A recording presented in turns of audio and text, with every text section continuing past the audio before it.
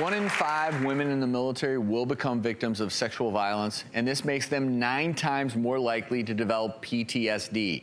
Deborah puts a face to these startling statistics.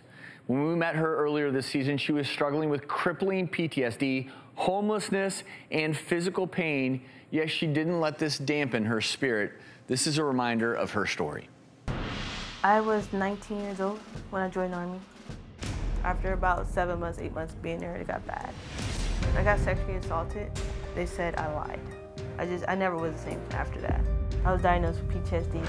I've been out for a little bit over 10 years now. I'm a single mom of two kids. I live in a transition shelter for U.S. vets. I'm actively trying to find a, another job.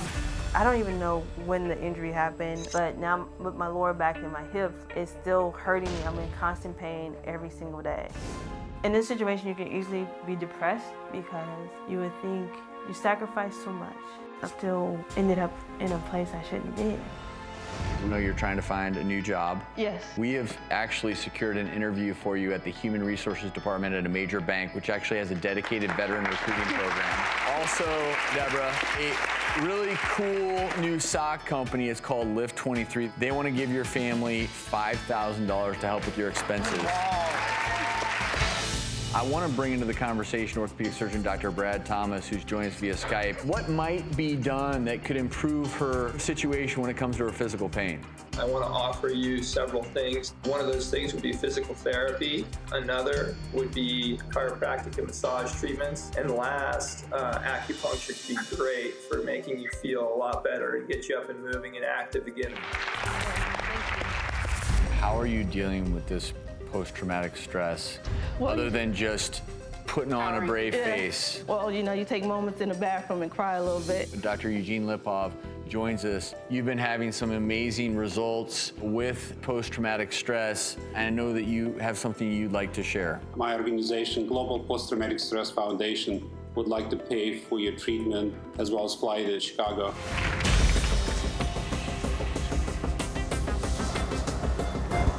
Some dye now.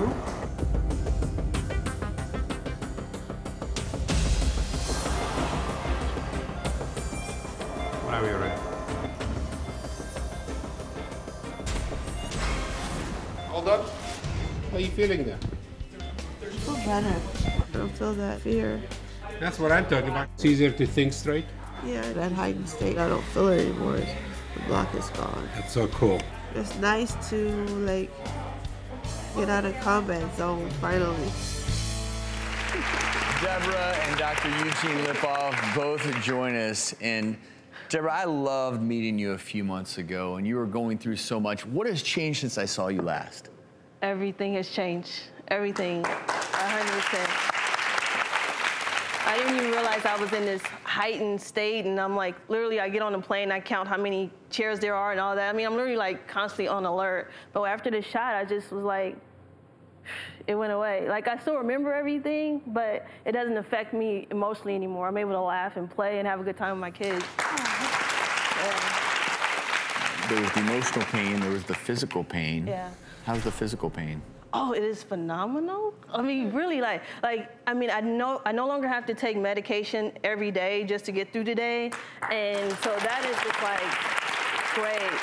Um, I'm not exhausted like I used to be. Like I actually have more energy, which is great. So it's been phenomenal. Like really, like I, I, it's hard to believe your resilient spirit was on display yeah. when you were on this stage a number of months ago, but I, I talked about you putting that brave face yeah. on, and underneath it all, I could see there was so much pain. And it's just remarkable and a testament to you and your perseverance that you're at this point and employment-wise? Mm -hmm. I got a job offer, and then I have I have another two job offers that are currently pending. I'm one of three people right now, so good for you. I'm good. And, and your living situation? Uh, my living situation is great. I found a place to stay, um, so we move in uh, everything next month, so everything's good. I, I, I think the important yeah, takeaway, yeah. Dr. Lipov, I, I want to ask you what was unique about Deborah, but it's also this domino effect of you change one thing and now everything else seems to be coming together in your life, which is great to see.